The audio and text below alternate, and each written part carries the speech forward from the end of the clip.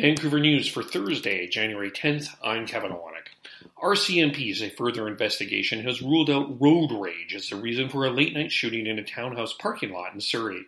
Police say a minor car crash between a light colored Jeep Wrangler and gray Toyota Sienna in a townhouse parking lot near 96th Avenue and Prince Charles Boulevard resulted in the driver of the Jeep pulling out a gun and firing it into the Sienna. The 17 year old victim was driven to a nearby Surrey Memorial Hospital, and he was later transferred to a Royal Columbian Hospital in New Westminster, where he's in serious but stable condition. Be a man.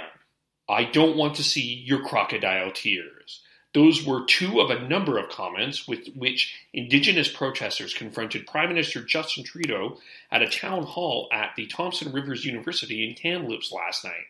The town hall came in the same week that 14 people were arrested in the province's northwest as they protested the construction of the LNG Canada project. Following negotiations with the RCMP on Wednesday, the Wet'suwet'en Hereditary Chiefs said they would open the checkpoint gate at the camp.